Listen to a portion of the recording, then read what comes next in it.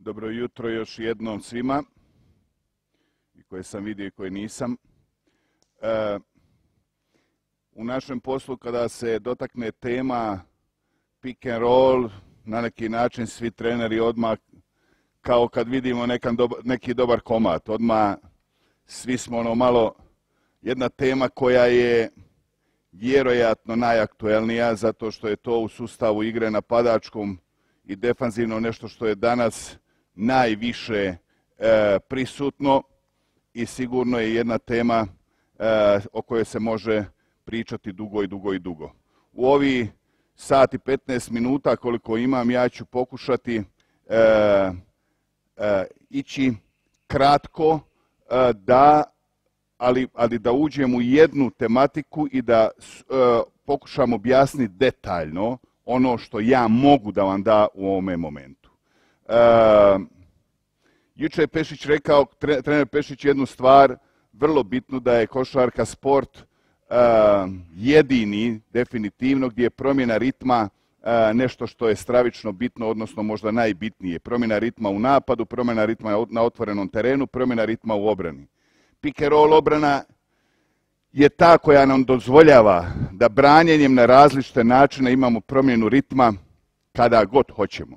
Normalno, kako ćemo sustav koji odabrati, ovisit će koje profile igrača ima. E, sljedeća stvar koja je bitna da svi vi znate postoje različite situacije, različiti uglovi gdje se igra taj direktni blok na lopti i ja bi onako najjednostavnije podijelio od lakta do lakta koje bi nazvao centralni pik, znači od lakta prema produžena linija slobodnog bacanja koji bi zvali pik sa strane, gdje imamo situacije različite, gdje je slobodni korner, gdje je igrač u korneru, gdje e, ima baseline pik koji dolazi sa čeone linije, koji je dosta primjenljiv danas, i ispod linije slobodnih bacanja koji se ispod zamišljene linije slobodnih bacanja koji se rijetko upotrebljava, ali se upotrebljava. I sjećam se recimo da je, još dok sam bio u Turskoj prije 20 godina, da je jedna situacija bila u FS Pilsena na Umovski, koji je igrao da je koristio taj pik puno više nego sve druge situacije koje su, koje su bile e, na terenu. E sada, rekao sam, kakav nam je profil igrača, takav ćemo sustav igre odabrati. Ne možemo tražiti od što smo jučer rekli igrača koji nije atleta, koji ima sporije malo noge, da stalno hedža, da iskače visoko, da se vraća natrag. Nije čak problem ni pomaganje, jer smo jučer rekli da je to prije svega volja, ali od igrača koji mora da izađe vanka, da zadrži balans, da ima brzi povratak vanka, objektivno je jako teško. Mislim da je danas trend ovo što gledamo danas u europskoj košarki, košarci, da se pick and roll obrana rješava sa što manje rotacija.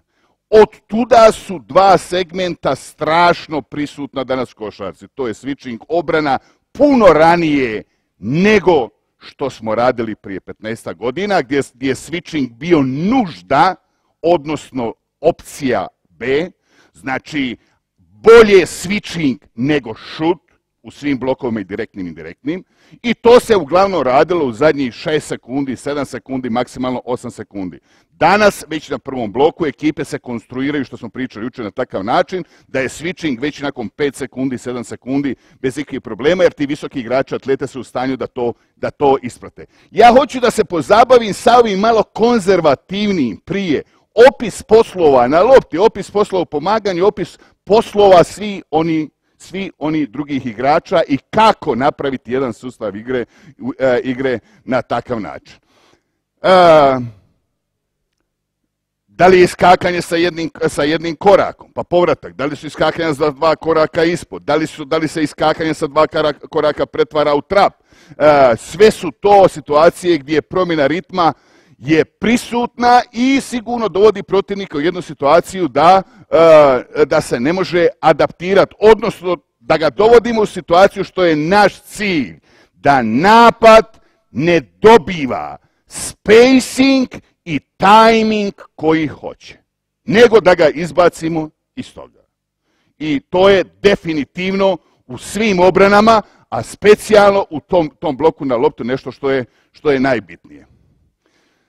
Ja ću krenuti, mislim, onoliko koliko hoću da budem detaljan, od centralnog pika koji je danas najprisutniji. Danas je najprisutniji tamo i to neću krenuti, rekao sam, switching obrana je nešto što je nužda po filozofiji koju smo imali, mada je danas primjenjuju mnogi. Hoću da vidimo šta to svi igrači treba da naprave kada je to centralni pik, odnosno između dva lakta, jednoga i drugog, šta treba da radimo. Tri su situacije koje se tu dešavaju. Jedna situacija je gdje point guard, odnosno igrač sa loptom već ima loptu i visoki igrač dolazi. To je situacija koja je često specijalna završetku utakmice, uzme Dragić loptu, zove visokog igrača, raspored je onakav kakav treba da bude prema karakteristikama. Da li su to četiri kornera, da li je baseline, ovisi koje, kakva je kemija momčadi i ulazi se u napad. Da, e, druga je da lopta dolazi na centralnu poziciju. Da lopta dolazi na centralnu poziciju, da li sa blokom dole na jakoj strani, da li sa blokom dole na slabijoj strani, e, da li sa hand off, nije uopće bitno, i da se igra centralni pik. I treća je elbow pick. Isto starta sa centralne pozicije, ali je, ali je na elbow. Znate normalno setove napadačke za takve situacije i sada nećemo ulaziti u njih. Na centralnoj poziciji je dilema jedna. Dilema jedna, polazimo od lopte, od igrača na lopti. Prva stvar koja je tu za mene najbitnija, da ulaskom u stražnje polje ne dozvoljavamo ni slučajno da ostanemo u paralelnom stavu. Ni slučajno. Razloga ima puno. Dva najbitnija su da nemamo nikak pregled šta dolazi i šta se dešava iza nas. I drugi, još bitniji, da u paralelnom stavu smo prelagana meta.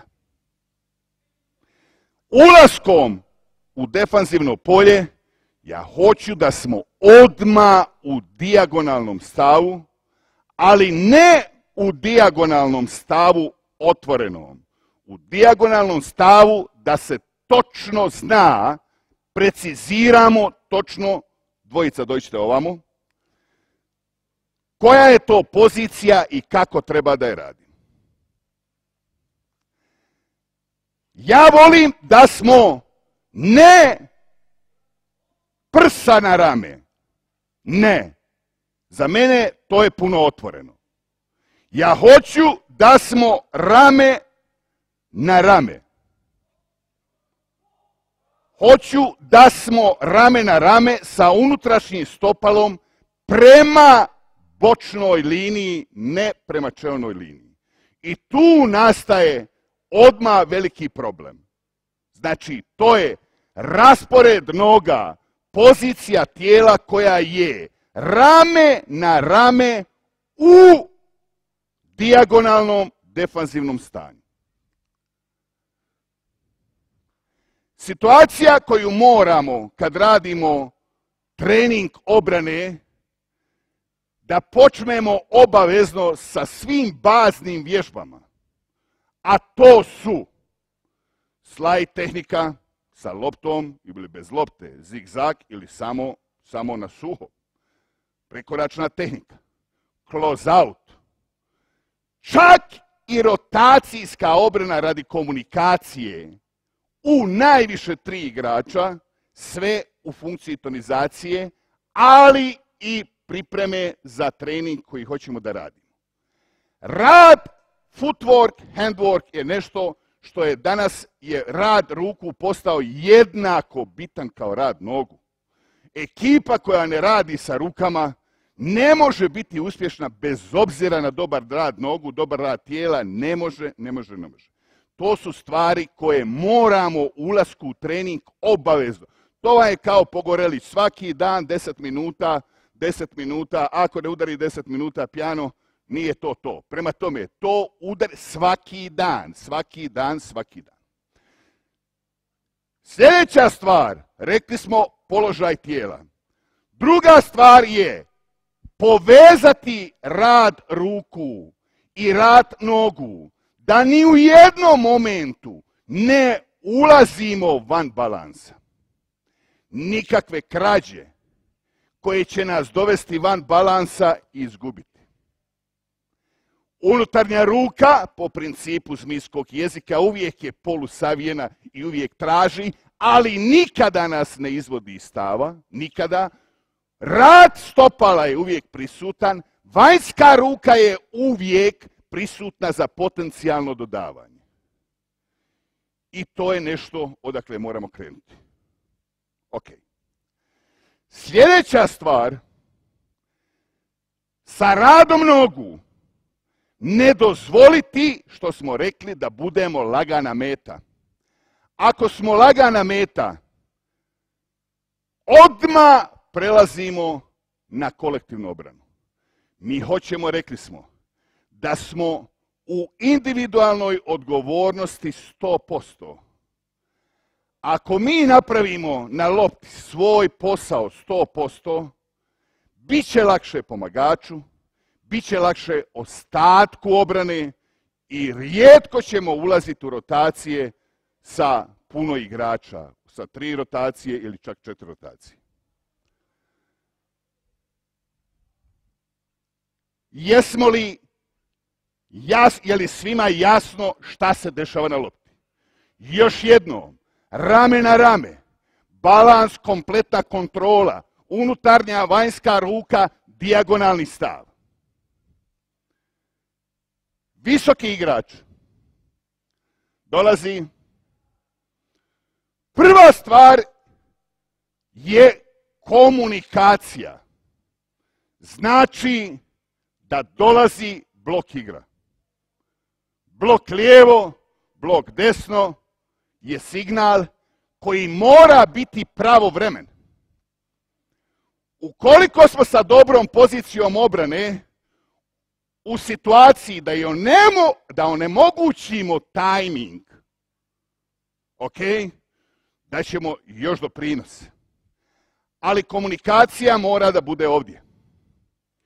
U momentu komunikacije stop, blok, vraćamo se ponovo na igrača na lopti. Šta je njegov zadnji posao u individualnoj odgovornosti? Za ne biti lagan cilj, za ne biti blokiran, on počinje jedan rad koji ja uvijek kad smo igrali sa tom Španjolskom gubimo 30 pa i dobijemo, pa gubimo 30 pa dobijemo. Da me pogrešno ne shvatite, ne volim negativnu energiju. Za mene Rubio jedan na jedan je loš defanzivni igrač, ali u ovim stvarima je najbolji možda i na svijetu. Da nikada nije meta. Nikada nije meta. Ja sam uvijek govorio, ne zovite blok na njega, igrajte jedan na jedan sa njim. Probit ćete ga svaki put ali ne zovite u blog zato što on, on, na zvanje, specijalno njihovi visoki igrača koji ostaju duboko, ostaju duboko. Na zvanje on kreće u rad nogu, odskače, vraća se, tako da se tu čak isprovoci, on nikada nije meta. I ako nađete sinergiju, Darfish, ti programi si, ako nađete častim pićem ko nađe gdje je on zablokiran. Znači, to je takav rad nogu koji on nikada ne postane met. I to je zadnji posao. Zadnji posao tu na, na, na znak da dolazi blok, na znak da dolazi blok. Ne dozvoli da budeš meta. Ne dozvoli da budeš meta. Ok. Visoki igrač,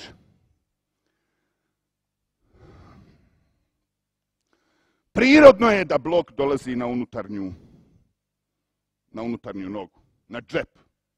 Prirodno je da dolazi na džep. Mada su svjedoci ovdje, trčana na jednu stranu, pa promjena kuta bloka na drugu stranu. Ajmo ako se desi ta situacija da je, da je fintiranje i dolazak na drugu stranu. Šta radi igrač na lopti? U tom slučaju, u tom slučaju dođi mi ovdje napravi blok, dođi mi ovdje napravi blok, ok, obavezno idemo ispod, zadržavamo poziciju i pravila koja jesu i prije. Znači ovdje kreni, ukoliko dođemo do situaciju da moramo, da hoćemo da ga pratimo, sigurno ostajemo 4 na 5, imamo veliki problem kako nastavi sa trinskom obranom. U tom slučaju, u tom slučaju, ispod, kreni nisko, ostani nisko. Kreni nisko, postani još niži. Da bi ja imao punu rotaciju, ja moram spustiti težište da bi imao pun krug. Ukoliko u trenutku bloka se ja podignem, moj prvi korak je maksimalno ovdje. Prema tome, zadržavanje težišta nisko i u svakoj kontakt igri spuštanje je nešto što je strašno bitno. U trenutku kontakta, u trenutku kontakta, Šildios zaštiti sebe, pum, nastavi dalje. Nastavi dalje. Ukoliko dolazi blok na unutarnju nogu, što je prirodno, na pokit, na džep, na džep, ajmo. Ok, stop. Gdje ćeš ti tamo? Dođi. Ajmo. Radno tu blok. E, stop. Ovdje možemo sve. E sad, od prve pomoći ovisi promjena ritma. Ne, zavisi promjena ritma od njega i ostatka ekipe. Kako se ja budem ponašao, kao prva pomoć ponašat će se moja ekipa. Moj ostatak ekipe. Ukoliko sad je ovo priprema za utakmicu, individualna taktika, sad je ovo profil igrača koji imamo, ali tu može sve. Tu može sve. Svjedoci ste dubokog fleta, dropa. Svjedoci se visokog fleta. Svjedoci ste iskakanja. Svjedoci ste kad se iskakanje dođi, dođi blok, ovdje, ovdje, ovdje, svjedoci se kad se iskakanje pretvari u trap, ostatak ekipe mora da prati. Ja konzervativan. Svi moji u stantu. Ja agresivan. Svi moji u overplayu. To je promjena ritma. To je promjena ritma i to je onaj surprise gdje protivničke obrane jednom Finska je igrala fantastično onaj prvi dio. Ali oni su, bez obzira na profil protivnika, uh, da li je šuter, da li može samo rolat, da li ima kratki rol, da li popa, da li je šuter na lopti, da li nije šuter na lopti, oni su stalno u hedžu. I ako se pripremite dobro, kao što smo se mi pripremili u Sloveniji, gdje su oni došli iz Kopra, dobili, dobili Italijane, Ruse, ne znam nijakoga sve dobili, gdje ne trebate uopće gledati. Zatvorite oči i znate da će iskakat. I dajte odmah pas. Kad on izlazi, ne kad se vraća. I potvrdite ekstra pas, obrana je gotovo. Znači imali su agresivnu obranu, ali nisu imali promjenu ritma. I jednostavno se lagano adaptirati napadačkoj ekipi. Znači uvijek brane na istaj način. Cilj je ovdje u opisu poslova visokih igrača, normalno ovisi kako imate, ne samo da je jednom u fletu, ili kako danas zovu white flat, bijelo ako smo u fletu, ili zovu plavo ako smo u hedžu, ili zovu red ako smo u trapu. To ovisi koju ćete terminologiju uzeti, normalno. Međutim, nije bitno sa to kako se zove. Bitno je što mi radimo i kako to radimo. E, kako nam je lopta broj jedan, kako nam je cilj zaustavi loptu iznad slobodnih bacanja. Ok? Ovu vježbu 2 na 2 plus trener plus trener kao dodavači. Normalno, pošto nemamo ostatak ekipe, nećete dozvoliti da dubinski pas ide direktno odmah na centar. Nego da ide jedna sponda ili druga sponda, pa da visoki igrač ima vremena da se vrati. Ali da bi razvili odgovornost individualnu i opis poslova na lopti, rame na rame, dijagonalni stav, ruka unutarnja pritisak na loptu, vanjska na dodavanje, nikada biti meta, footwork, rad ruku, sve ono što treba da ima. To morate dva na dva centralni pik pilati, ali bukvalno svaki dan. Komunikacija, komunikacija, blok igra, blok igra. Pa dozvolite im, neka ima i promjenu kuta, da se vježba spuštanje težišta, da se vježba taj pivot oko njega, da zadržimo ponovo startnu poziciju. U redu. E, idemo sad, pošto ste dva na dva, idemo samo, samo ćemo u fletu najprije visokom, ajmo, dođi jedan tamo, jedan dođi vamo, ok, jedan tamo, jedan vamo, jedan tamo, jedan vamo, ti idi u rol, ok, nemaš pravo dati odmah njemu, jer nemamo sa pomagača ni sa jake strane ni slabije strane, ili daj njemu ili daj njemu. Na drugo dodavanje koji ide u širinu, na drugo dodavanje koje ide u širinu, povratak natrag. Ok. Na drugo dodavanje koje ide u širinu, povratak natrag. Je u redu. I nedozvoljavanje visokom igraču da ima prednju poziciju. Je u redu. Ajde. Dođi. Ajmo. Jedan, dva, ajmo pas, vraćam se brzo i ne dozvoljavati visokom igraču da ima prednju, prednju poziciju. Molim vas, borba za unutarnju poziciju je najteži posao. To je teži posao od bilo kog posla u košarci. Jer tu se primaju, daju udarci, tu treba istrpiti, tu se vidi i personality, tu se vidi i mental toughness, koliko je igrač spreman za tuču. Ako nije spreman da tuču, momenti trofeji se nikada ne dobivaju bez tuče. Nažalost, to je tako u svakom sportu, pa i u našem. Ok. Ukoliko ukoliko, još jednom, cilj je, cilj je, naš je cilj, ajmo vježbat ćemo sada drugu.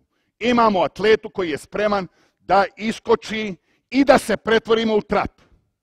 Ok, stop, stop. Ide, ajmo, op, op, zovem boju koja je, znači, blue, idemo i sad, pretvori se, trap, trap, trap, trap, trap, trap. Normalno, idi isto, idi isto na pas, moj povratak je nakon dodavanja. Nikako dok ima loptu. Normalno nam treba sa pomaganje, pomoć pomagaču, vjerojatno nam treba i rotacijska obrana i sve otvorenije obrane, kao što je iskakanje, kao što je hedging defense, zahtijevaju sigurno rotacijske obrane, a rekao sam ono što vidimo zadnjih godina i radi switchinga ranog, ne kao nužda, ne kao nužda i radi stanta koji je puno više prisutan, sve manje ekipe ulaze u rotaciju. Manje vremena za trening, objektivno. Vratili se iz reprezentacija, počeli su utakmice, ja ne znam objektivno kada će i trener, treneri i napraviti sustav igre, jedino onaj koji već ima kontinuitet tima. Kontinuitet tima. Ok, kojim slučajem, kojim slučajem je ostao duboko? kojim slučajem je ostao duboko. Nastavi. Pa ste svjedoci danas da se puno koristi kako ga zovete ovdje, shaking taj screen, znači gdje mijenja stranu, gdje mijenja stranu, jel tako? To ste vidjeli puno i Dragić, i Dončić, Mali Bogdanović, Jović. Znači, ako ostane duboko, što su Španjolci, oni ostanu uvijek tu u srcu reketa, ostave ga gore. Kao što sam rekao, Rubio je to radio sjajno da nije meta, međutim, ne može se jednostavno tako lagano braniti. I sada promijeni stranu, promijeni stranu, promijeni stranu. E sad, bolje je mis meč nego sam. To je sada ono što govorimo. Znači, nužda, switch, switch.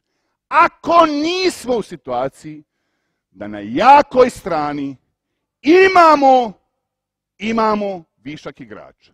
Ako imamo višak igrača, ako imamo dva, normalno sa stantom ćemo to riješiti. Međutim, ako nemamo, onda je ta switching obrana nešto što je nužda. Lopta je nisko. Mali igrač nije u velikoj prednosti zato što više nema zalet. On je u mrtvom stanju i ispod linije slobodnih bacanja. Teško će u malo prostora igrača probiti visokog da zabije. Ono što je veća opasnost je da vanjski igrač podboči visokog, da mu ne da lagan rol i da sa dobrom komunikacijom ima drugi switching ako je to moguće. Još jednom govorim, to je ako smo zapeli, ako smo napravili grešku. Međutim, ukoliko mali igrač ostane pasivan poslije toga bloka i ukoliko roller ode brzo prema košu, to je gotovo.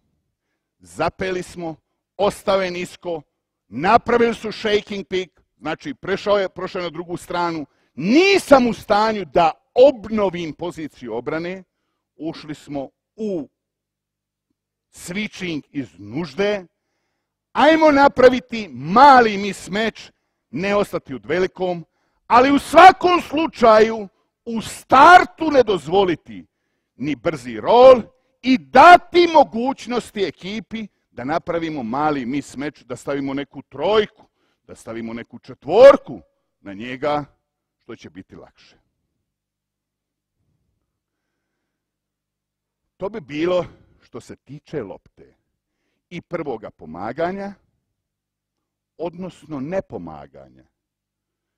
Znači, da li je u fletu dubokom, da li je u fletu visokom, da li je greškom u fletu dubokom, da li je u hedžu, da li je u trapu, gdje ostatak ekipe sad treba da se prilagođa. E sad, sad je tek sustav. I kad vas pitam kako ćemo and roll, ma lako ćemo mi and roll. Lako ćemo mi and roll. Da vidimo mi individualnu odgovornost. Da i napravimo na lopti kako treba, napravimo prvo pomaganje kako treba, zadržimo balans jedan i drugi, ok, e sada ćemo mi napraviti, s obzirom kakav profil ekipe imamo. Kakav profil ekipe imamo. Hoćemo li ICE, što bi rekli Amerikanci, Italijani fondo, Španjolci fondo, usmjeravanje, hoćemo li hedge, hoćemo li ovo, hoćemo ono, pa hoćemo. Nema nikakvih problema. Ali nemoj mi coach, što je meni moj Markus Williams, sjajan igrač koji je dobio sam pet utakmica u Malagi, sam, bukvalno sam, ali stane, stane, onako debeljuca, postane meta, ode, svaki napad je pet na četiri, coach, kako ćemo igrati obranu? A Marko, ne možemo igrati obranu, kako ćemo igrati obranu? Kako ti ne igraš? Kako ćemo igrati obranu? Aj ti me objasni kako ćemo igrati obranu. Pa napravi ti svoj posao, pa ćemo onda. Pa ga stavi na dvicu, pa ga na tricu, pa ga napada trica sa, sa pikom koja ne zna uopće igrat. Pik, međutim, opet stvara višak igrača. E, znači, individualna odgovornost u našem poslu. Ovo je kolektivni sport gdje jedna je, što sam jučer rekao, jedna parola, jedna ova, kako se zove, riječ je nešto što je postala svakodnevnica i u napadu i obrani. Connected, connected, connected, ne povezani, zajedno, zajedno, insistirajte na tome i, i sa vježbama. Mi smo ranije radili vježba. Ganjaju jednoga, pa kad ga ufate, pa trojica za connected. Smiješno, nije smiješno. Connected, connected, connected, zajedno. Za, ako nisu vani, jesu evo za ruke, pa ganjaju jednoga, pa ganjaju trećeg, pa ganjaju četvrtoga. Biti connected je lako, a istovremeno jako teško. Jako, jako teško. E, ajmo sad ostatak ekipe da budemo connected sa ovim igračem. E, ponovimo ovu situaciju, dođe ovdje jedan visoki i stanimo gore. Ajmo, dođe jedan visoki, jedan napad, jedan obrana. E sad,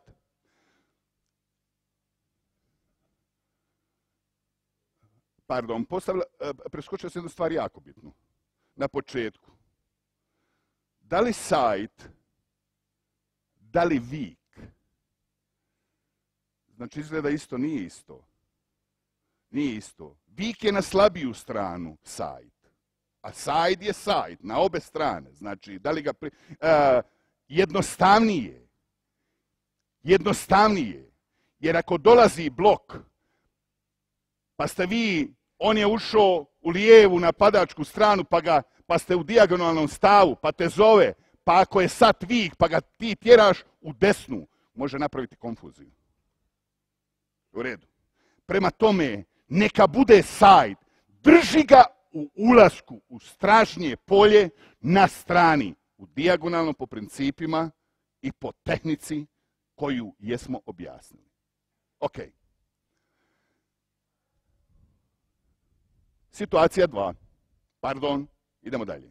Dođi, jedan tu, jedan obrana. Jedan tu, jedan obrana. Jedan, jedan ovdje, ne trebate još tamo, ne trebate još tamo. Aj se, jedan, jedan tu, jedan obrana. Dođi e, plavi obrana. Sljedeći princip u kolektivnoj obrani koji mora da imamo u centralnom piku, to je nivo lopte. Nivo lopte je uvijek. Jučer smo radili na otvorenom terenu opisu poslova modernog centra, da je nivo lopte nešto što se mora ispoštivati, da mora razbiti svom igraču kretnju visoko, da mora zaustaviti loptu, da mora pomoći da ne smije dozvoliti visokom igraču da odlazi u dubinu, sve ono što je bitno. E sad, dva su igrača na ovoj strani, nivo lopte, iznad nivoa lopte, postoji igrač. Ili nivo lopte, nije uopće bitno. Ja sam taj što je connected. Ja sam taj. Čim je moj igrač ovdje i čim smo u fletu, čim smo u fletu, ajmo kreni lagano, ja, ej, fletu, fletu, rekli smo, svi se ravnamo prema prvoj pomoći. Konzervativna, konzervativan, konzervativan, konzervativan.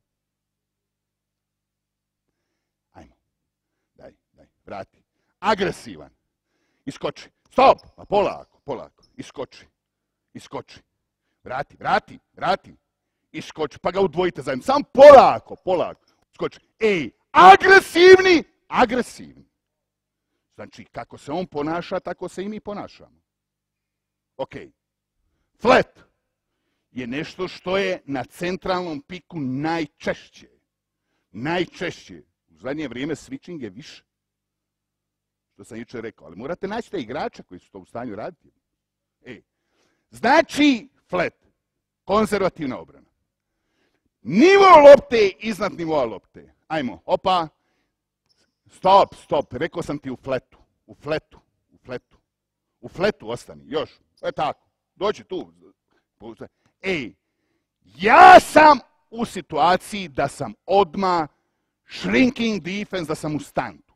Ja sam spreman, nikad ne gubi svog igrača, ali sam spreman da zaustavim loptu. Tu sam pohvalio jučer Kalinića koji više ne znate da li čuva svog igrača dobro ili pomaže dobro ili, ili radi za pet igrača isprofilirao se u vrhunskog igrača s obzirom na razumijevanje obranu i poziciju obrane koja mu je fantastična. Rad ruku koji mu je fantastičan.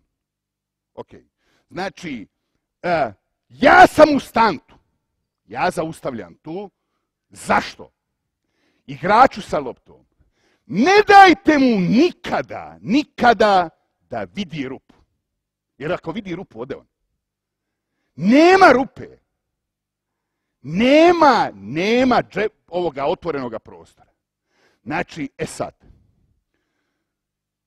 postoje ekipe koje organizirano štite visokog igrača, odluka takva. I zaista pretjeravaju. Međutim, međutim, kako je napravljen sustav dobro, uspješni su. Imali smo ove godine Malagu koja je imala dobru ekipu. Ima dobrog trenera. Međutim, objektivno, malo mi je prelagano osvojila onaj, kako se zove, Eurokup. Prelagano s obzirom na roster i s obzirom na protivnike koje je susretala. Oni su imali visoke igrače, znate koji jesu bili Musli, pa je bio ovaj Begić, jel tako? Koji je još bio jedan isto isto visoki, koji nisu izlazili vanka. Nisu izlazili vanka. I oni su imali pretjeran stant koji se pretvarao u trap nekada. Pretjeran stant koji se pretvarao i vanjski bi onda rotirali ako treba. Ok. Ja nisam zagovornik toga, ja mislim da treba visoki i da pomogne da se vrati. Međutim, kad nam spacing protivnika dozvoljava, vrati, vrati, da budemo u stantu, pomoći, pješ nazad, stop. Ovaj igrač, kad meni dozvoljava moj igrač da pomognem, mora se brzo vraćati sa svojim. Znači, moj igrač dozvoljava mi da sam u stantu da ja pomognem. Ti se vraćaj sa svojim, ne provociraj rotaciju specijalno što imamo samo jednoga na strani pomoći. U redu. Vratimo ponovo. Znači ulazi, blok, pozicija obrane. Bježi natrag, bježi natrag! Ok, ok, ok. Ne gubim svoga igrača, zaustavljamo loptu, ne dam mu da vidi rupu. E sad, e sad. Normalno se postavi pitanje, a šta ako utrči iza leđa? Istina, utrčeći za leđa je prirodno da utrči za leđa. E, ali šta je to što smo jučer rekli i što sam rekao na početku treninga? Istonizirati noge, pripremite, ali uzmite jednu rotaciju. Pa onu obranu pomoć pomagaču. Pa, ajde, samo dva plus treneri. Pa onda, ajte rotirajte ono u križ. Zadnji pum, pum, pum.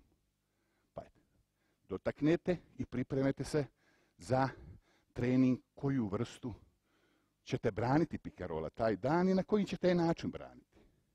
E, znači, connected, connected, uvijek čovjek lopta, cilj nam je svima uvijek lopta, lopta je glavna, loptu treba zaustaviti jer lopta daje koš. Lopta daje, lopta ulazi u koš, ko ima lopta ima, ima taj će šutira, taj će dat koš. I u redu. Ali ne gubi svoga igrača nikada. Ponovi ovu situaciju. Ponovi.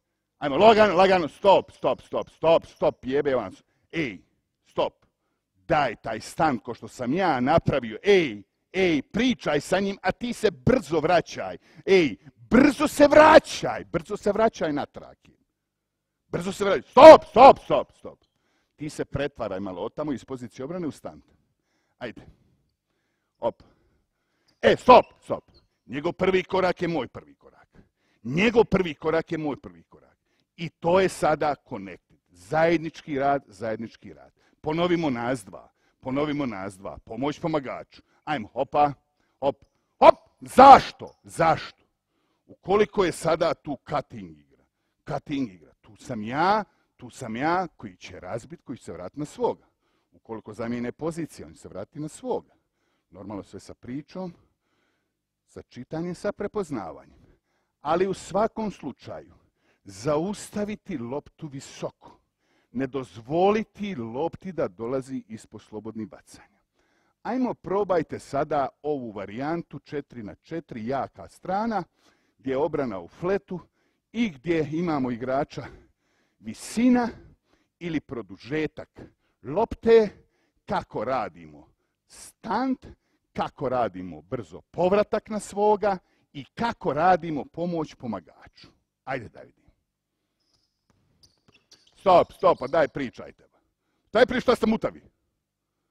Ste doručkovali. Pa bili ste super prije pola sata. Pričat! Ajde! Dobro, dobro, dobro, dobro. Ajde, ajde. Ajde, bravo, bravo, ajde. Ajde, super, super. E sad.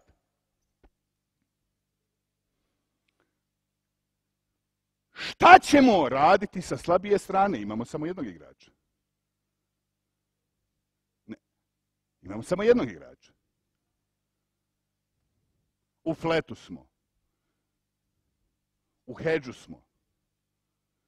I jedna i druga obrana dozvoljava neki kratki rol.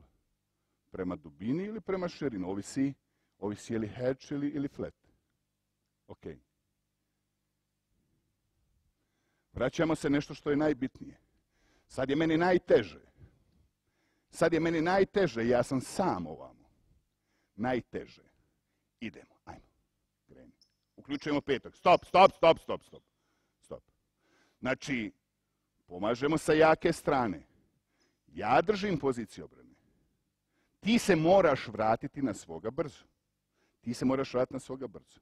Ja ne gubim svoga igrača, ali svaki dribling je moj jedan lagani korak. Jedan lagani korak prema lopti.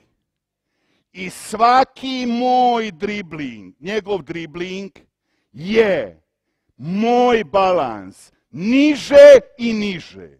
Zašto? Zašto? Jaka strana nisko. Slabija još niže. Zašto?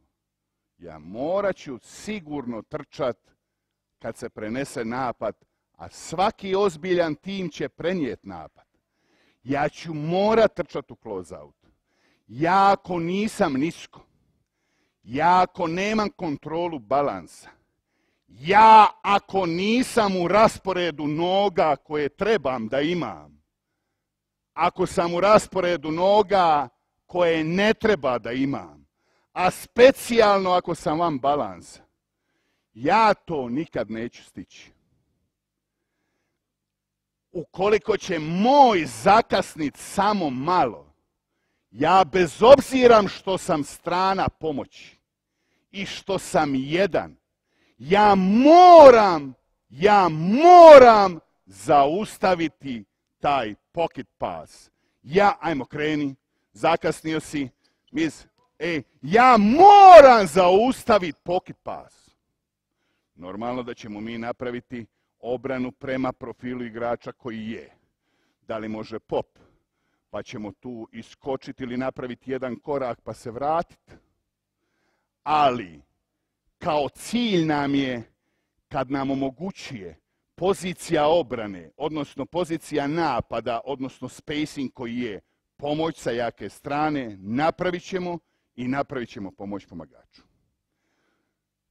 Normalno da samo jak pritisak sa rukama. I rekli smo na početku da je rad ruku danas jednako, ako ne i bitniji nego rad nogu. Rad ruku koji ne onemogućuje tajming dodavanja i koji onemogućuje brza dodavanja. Ako je morao napraviti višak driblinga bez obzira na dobar court vision i ako je morao dati low pass, onda, ajmo napravite malo sa rukama, da bi dali meni vremena, ajmo low pass, da bi dali meni vremena da mi close out bude lakši.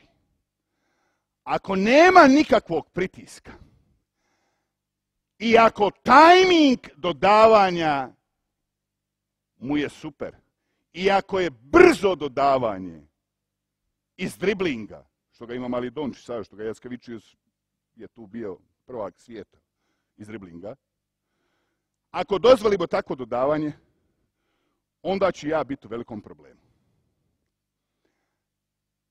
To je connected jaka strana, to je connected slabija strana. Ali nastavljamo i ovdje biti connected od početka do kraja napada.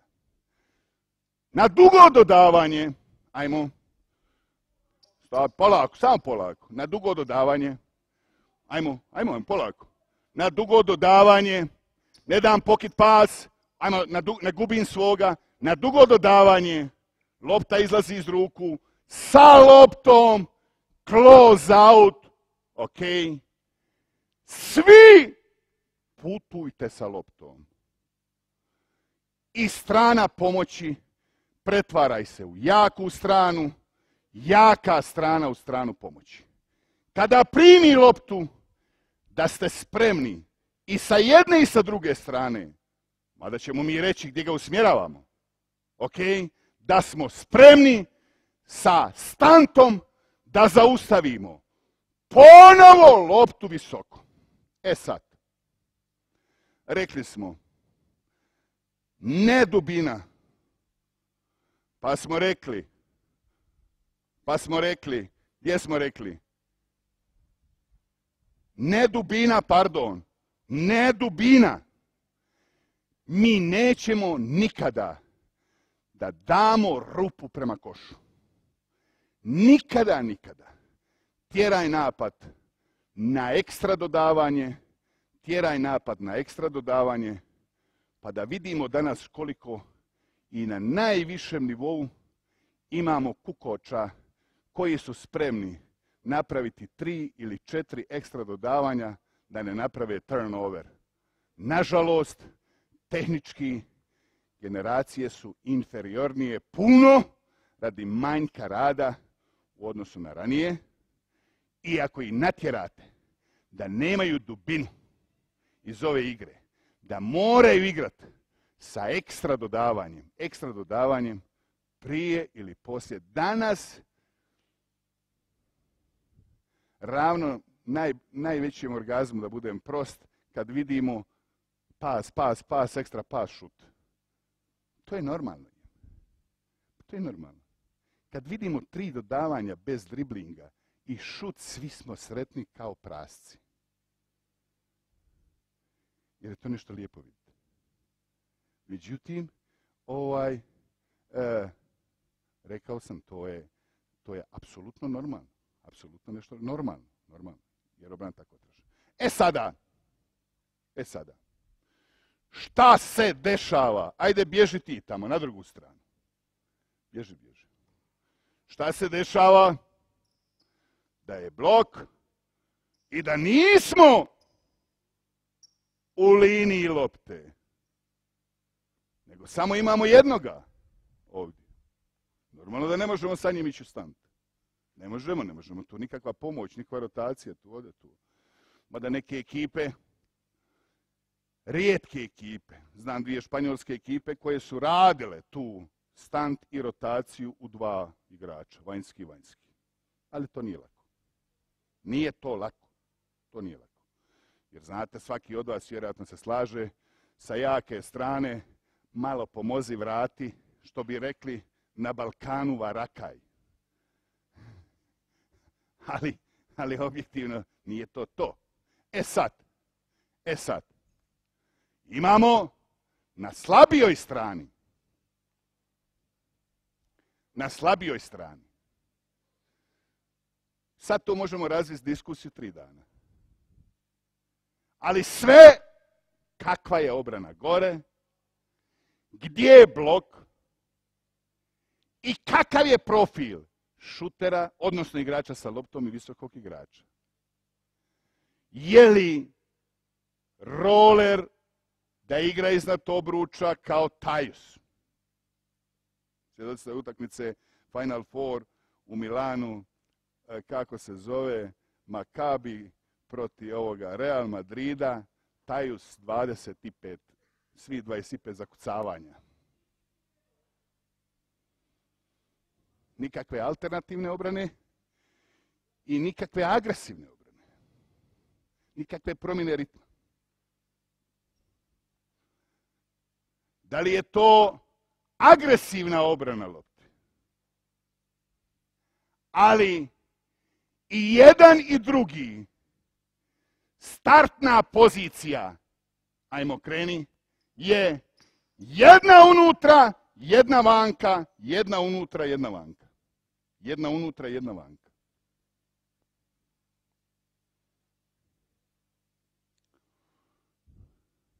Bježi ti vani. Odnosno dođi ovam.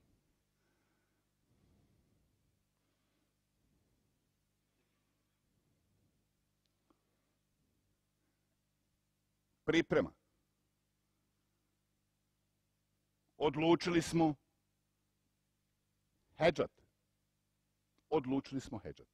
Samo lagano, samo lagano. I ite, ite pretvorite hedž u trap. Ajde. Hop, hop, hop, hop. Stop, stop, stop, stop, stop, stop. Ajmo. Pritisni ga, pritisni ga, pritisni ga, pritisni ga, pritisni ga. Pritisni. E. Da budemo connected. On je agresivan. Deny je na svim prvi dodavanjima. Ne možemo sad ostaviti ga. Ne možemo on izlazi mi ostavimo prvo dodavanje. Nema veze da li je na kratkom rolu, nema veze da li je vanka. Nema veze gdje. Pomoće nam ako se odmota ovamo pa ćemo se pretvoriti tu u dinaj, on čuva, on čuva dvojicu. Pomoće nam. Pomoće nam. Na kratki rol, na kratki rol ja preferiram uvijek prvu liniju. Najbližeg igrača. Jer je najbliže i ako možemo da zaustavimo što smo rekli prije. Kratka dodavanja, cilj nam je da nema kratkog dodavanja. Specijalno nema prijema između prve i druge linije. Lopta kad dođe tamo. Lopta kad dođe tamo. Sa dodavanjem. Ili sa... Šta danas fali koja vrsta playmakera? Koliko je danas playmakera u stanju kao, mislim da je Đorđević je jedan bio zaista kompletan igrač. U svakom pogledu i sa personalitijem i sve. Ali njegov jumper sa linije slobodnih bacanja je bilo nešto što je ga napravilo ekstra, ekstra igrača. Kad je došao u situaciju između prve i druge linije, je bio odličan šuter, svako pomaganje je zakucavanje. Danas takvih više playmakera skoro da i nema koji će se zaustaviti na liniji slobodnih bacanja šuta. Ne da mu igraču sa loptom da vidi rupu, ne da uđe u tu rupu. Ne damo igračima bez lopte da prime kratko dodavanje. A svi se prilagođavamo sustavu koji smo odabrali. Ako je hedge, ide na hedge.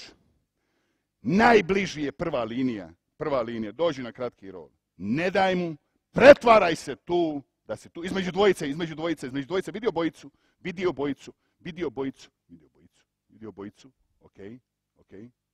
I ono što smo prije rekli, putuj sa loptom, pretvaraj se brzo, jaka strana u slabiju stranu. Dođi u flet. Ponovi, dođi u flet. Stop, stop, stop. Rekli smo krene. Jedna unutra, jedna vanka. Jedna unutra, jedna vanka. Najviše si malo. Prema svom igraču, prema lopti. Uvijek malo zatvoren. Uvijek malo zatvoren prema svom. Ok. Konzervativno. Stop, stop. Ej, prva pomoć konzervativna, svi smo konzervativni. Ne možemo mi biti agresivni, a on u fletu. On u fletu. A mi smo agresivni sa jake i sa slabije strane. Otiće nam, otvorile su se rupe, gotovo. Otvorile su se rupe.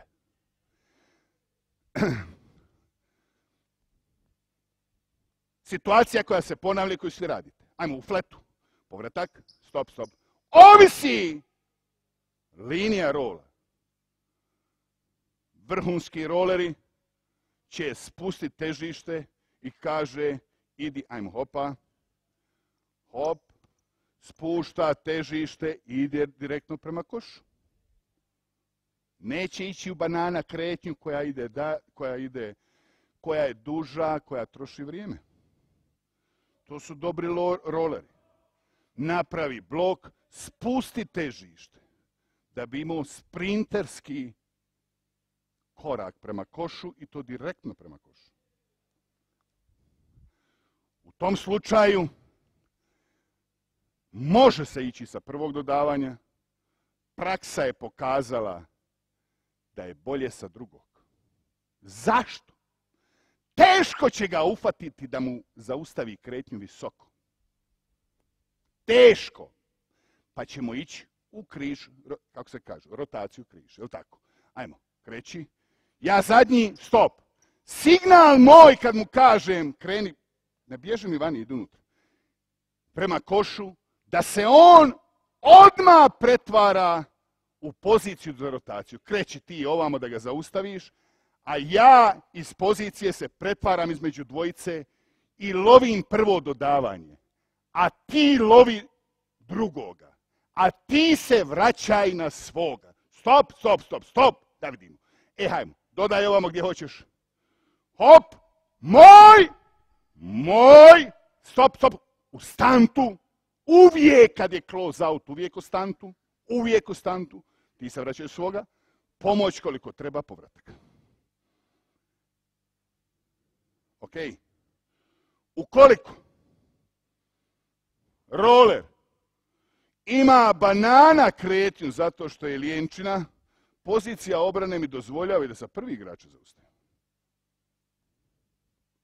I sa prvim igračem zaustavimo i nema potrebe da uopće idemo u rotacijsku obranu. Zašto ovo govorim? Govorim što zaista, ako pogledate ozbiljno utakmice i Europske lige, teško ćete danas naći poređenju sa prije, ne znam, 15 godina, 10 godina, teško ćete naći u jednoj utakmici više od dva puta da je ekipa bilo koja, Fenerbača, CSKA, ušla u rotaciju više od dva, tri puta sa tri igrača. Teško, jako teško. Istina da su oni složili, što sam jučer rekao, visoki igrača koji preuzimaju, koji su bolji na lopti nego vanjski. Jučer smo rekli Veseli, Udo, Heinz, Vorončović bolje brane na lopti nego vanjski. I tu prelazi se odmah u, kako se zove, u ranoj fazi, u tu switching, obrani sve.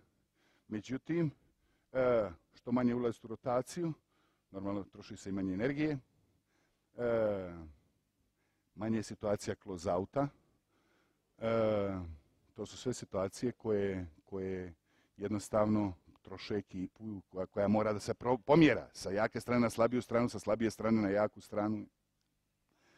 To bi bilo što se tiče ovoga centralnog pika i situacija koje se mogu desiti.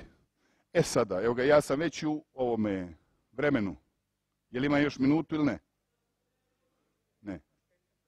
A još 15. Super. Super.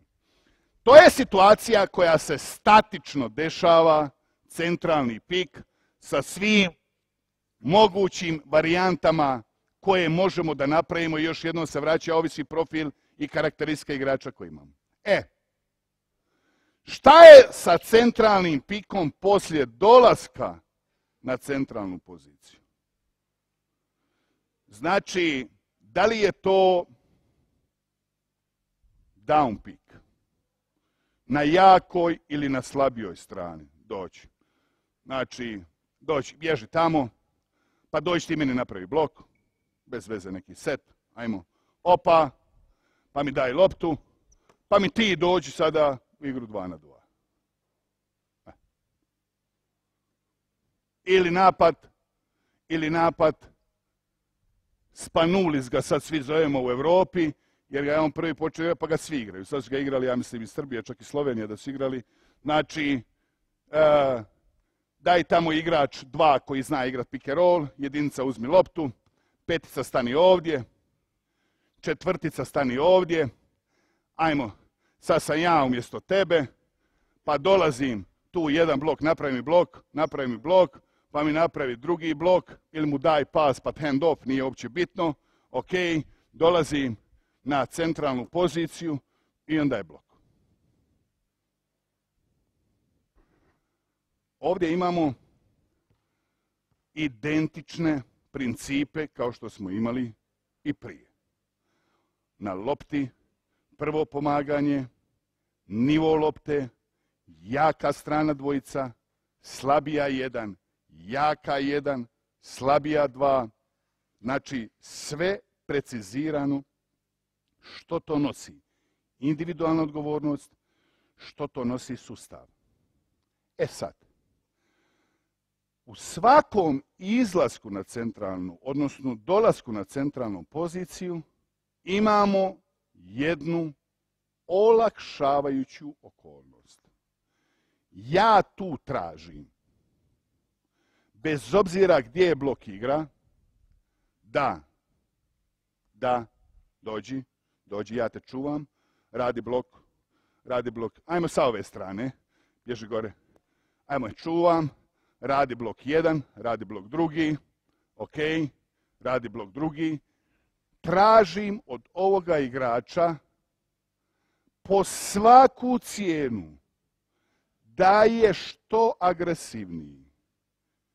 Po svaku cijenu da je što agresivniji. Ne postoji raspored ovdje koji će dozvoliti backdoor. Znači, bukvalno na liniju dodavanja, jer je moj cilj da jako je primi, da je primi jako visoko. Pa ćemo, ako je blok jako visoko, prvi blok otići ispod, a onda ćemo već sa tim ga dovesti kako smo počeli lekciju. Da nije u spacingu koji hoće, da nije u tajmingu koji hoće. Mi smo ove godine, na stranu sada kako smo izgledali, koje smo probleme imali i slabo igrali, ali jednu utakmicu, prvo polovreme protiv Bamberga, koji, koji igra već lijepu košarku sa Trinkijerijem duže vremena, koliko je to već treća godina, ali je napad dosta e, kako se zoveš, e, skematiziran. Znači, onaj što je otišao, je u Real ovaj, kako se zove onaj, e, Francuz? On je uvijek dolazio sa ove strane u hand-off i pik na lijevu stranu. I to sto puta. I tako drugi, i tako treći, i tako četiri igrač. Točno se znalo u koju situaciju dolazi jedan igrač koji mu je spacing. I ako ne date taj ulaz, nego mu promijenite kut ulaska u blok, spacing narušeni svi stanu. Zato je bitno da imate promjenu ritma i da ne dozvoljavate da rade ono što hoće, nego da rade ono što to vi hoćete. Dovedite ih uvijek u situaciju drugačiju, bar malo od one koji hoće da oni kreiraju. I treća situacija je što sam rekao pick elbow, gdje uglavnom pick elbow je rotacija u križ sa slabije strane, jer to, ovo što smo objasnili kako ide, zato što je to najčešće u tom slučaju da su dva igrača sa slabije strane. E sada tu se postavi pitanje šta ako je baseline cut, šta ako je short roll, šta ako je kolaboracija short roll i, i, ovaj, e, e, ovaj high post i, i kratki korner visokih igrača koji rade uvijek protočavanje na tučevnu liniju, stvaraju se ti trokuti, uvijek sa loptom. Sve to istina. Ali, ako krenemo od ideje koje jesmo rekli, ne otvori nikad igraču sa loptom da vidi rupu. I ako krenemo, ne dozvoli nikad igraču da primi kratki pas.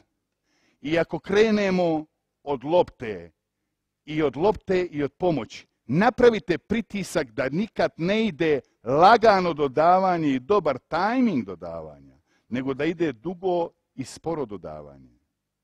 Onda ćete napraviti veliki posao. Ako se zadovolje te tri stvari. Ako se ne zadovolje, bit će teško. Biće teško. Evo ja sam rekao, ja sam se zadržao na centralnom piku, zato što je po meni bolje da jednu stvar popričam malo zbiljnije, nego sada da idemo u dotači, kako se zove, sa strane, pa kako, pa ovo, pa, pa baseline, pa kako. E,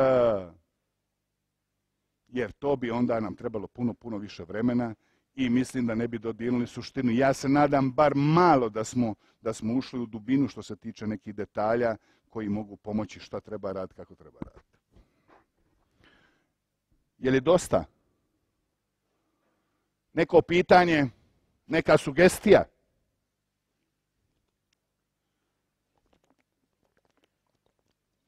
Ne. Hvala, hvala, hvala, hvala, hvala, hvala.